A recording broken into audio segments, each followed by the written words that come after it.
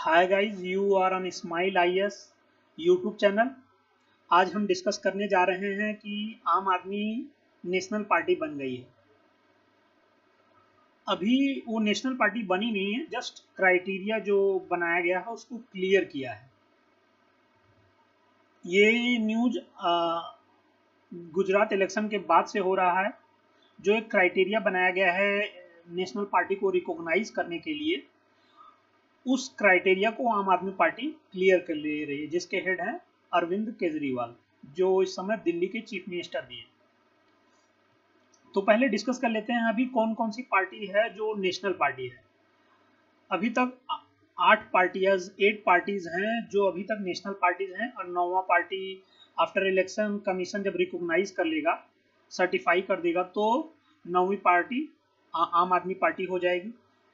इस समय बहुजन समाज बहुजन समाज पार्टी जिसकी हेड जो है मायावती जी हैं बीजेपी वो भी नेशनल पार्टी, इसकी हेड हैं जो प्राइम मिनिस्टर हैं Modi ji, and CPI communist party of India, ये भी नेशनल पार्टी है, communist party of India C P I M Marxist, and Indian national congress जिसके राहुल गांधी जी हेड हैं and NCP national congress party जिसके head Sharad Pawar ji हैं and national peoples party जिसके head C Sangma हैं, जो अभी मेघालय के चीफ मिनिस्टर हैं।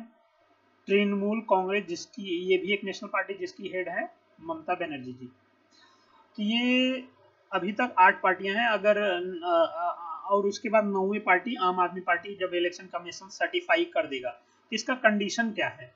कोई पार्टी रिकॉग्नाइज हो नेशनल पार्टी के लिए तो उसका कंडीशन क्या है? चलिए हम वो भी कोई पार्टी अगर चार से ज़्यादा राज्यों में, अगर स्टेट लेवल पार्टी है तो उसको नेशनल नेशनल पार्टी रिकॉग्नाइज कर लिया जाएगा। यही सेम चीज़ हुआ है नेशनल पीपल्स पार्टी के सी सी संगमा के साथ इनकी पार्टी नॉर्थ ईस्ट के चार राज्यों में है। हम दूसरा कंडीशन है, कोई पार्टी सिक्स परसेंट वोट किसी जनरल इलेक्शन में, जैसे और एटलीस्ट फोर लोकसभा सीट भी जीत लेती है तो वो नेशनल पार्टी जैसे अपने देश का पॉपुलेशन है 120 करोड़। तो if somebody win six percent vote okay six percent vote mean approximately more than nine and half crore okay plus four Lok Sabha seat तो उसको भी नेशनल पार्टी डिक्लेयर कर दिया जाएगा। और जो तीसरा कंडीशन है, कोई पार्टी अगर दो percent seat at least from three different state से जीत लेती है। टू परसेंट सीट मीन्स अभी टोटल जो सीट है फाइव फोर्टी थ्री है। तो इसके हिसाब से करीब करीब इलेवन और मोर सीट जो जीत लेगा, वो भी तीन डिफरेंट स्टेट से, वो भी नेशनल पार्टी डिक्लेयर कर दिया जाएगा।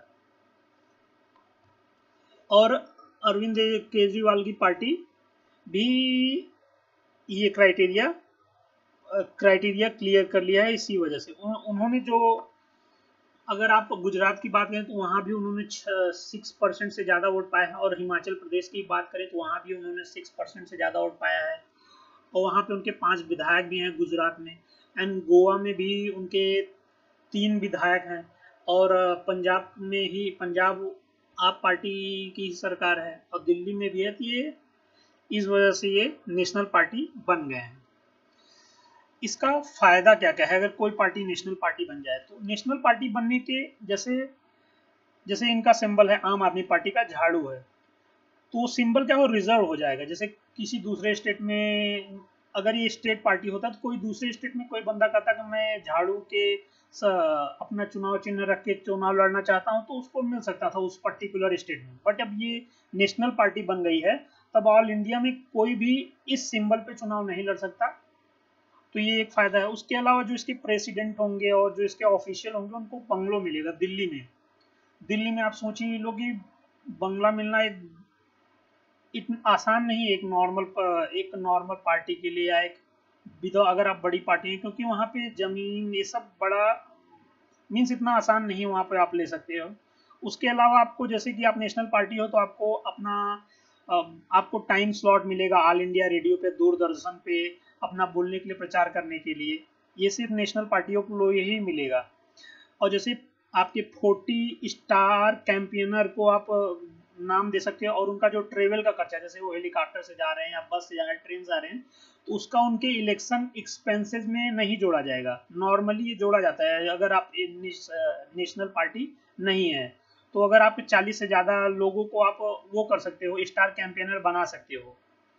सो so, और उनका ट्रेवल एक्सपेंस भी है इलेक्शन एक्सपेंस में नहीं जोड़ा जाएगा क्योंकि एक बंदे का लिमिट होता है एक बंदा इलेक्शन में इतने खत्म इतना ही पैसा खर्च कर सकता है। सो so, और इसमें आपको डोनेशन लेने में भी आसानी रहेगी अगर आप नेशनल पार्टी हैं तो। इतना ही है। Thank you have a nice day I hope you like share and subscribe thank